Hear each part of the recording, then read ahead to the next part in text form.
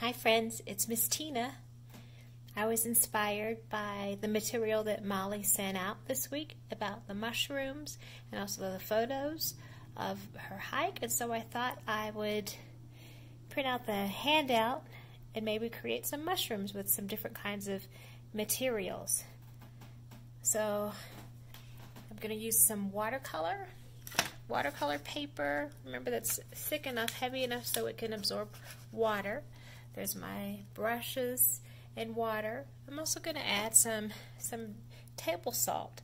You've probably done this before where you sprinkle the salt onto the wet watercolor. It makes a really fun effect. Another kind I'm going to try is with the pastels on black paper because it shows up so brightly on the black paper. Um, I have a couple of crayons for some accents. Then I think one more that I like to try is with some cut paper scraps. Other materials that I have in case I need them, a rag for my hands, especially with the pastels, then just some extra pencils, um, a Sharpie for maybe some lines that I might want to add.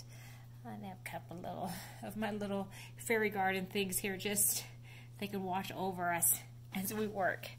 Okay, bravo. So one of the first things I like to do before I get started with my watercolor illustration is I look at the scientific drawings with all of the parts labeled and I also really love to look out on Google Images and right here I have a mushrooms botanical drawing, botanical meaning of plants and hopefully I'll get lots of, oh yes, I'll get lots of drawings that other artists have made of mushrooms. And I'm going to go ahead and click on images.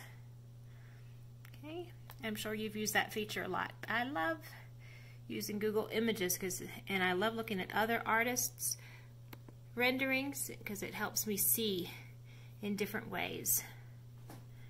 Bravo.